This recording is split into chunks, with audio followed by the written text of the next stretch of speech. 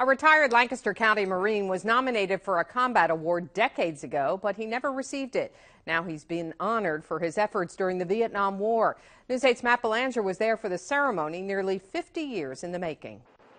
First Sergeant Gentry reflected great credit upon himself and upheld the highest traditions of the Marine Corps and the United States Naval Service. In a plain room that was too small, wearing his original dress blues that still fit after all these years, a Lancaster County man received an honor long overdue.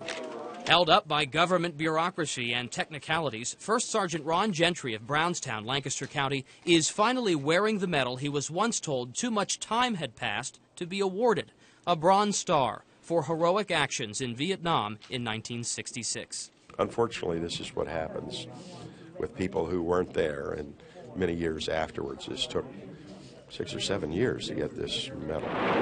In all, 47 years have gone by since Gentry's unit struck a mine and he avoided capture deep in enemy territory. 58,000 Americans died in Vietnam, the war President Nixon called the most misunderstood event in American history.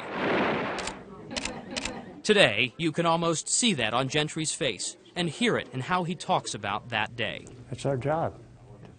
Uh, that's what Marines do. We come and we go. But even with this medal now in place, one thing is still missing. Gentry's commanding officer, who nominated him for the award, Lieutenant Colonel Thomas Hancock, died just months short of witnessing this ceremony for himself. Hancock's widow, Lou, traveled from North Carolina to show her support. My husband just thought the world of him. And so I'm just so honored that he has finally received it. I think he would have said, Top, sit down and relax. I didn't come into the Marine Corps for the medals. That wasn't my intention. Gentry dedicated his award to other service members, past and present, as he was honored for his service, which he says was an honor in itself. Not for me, it's for this, this honor was for them.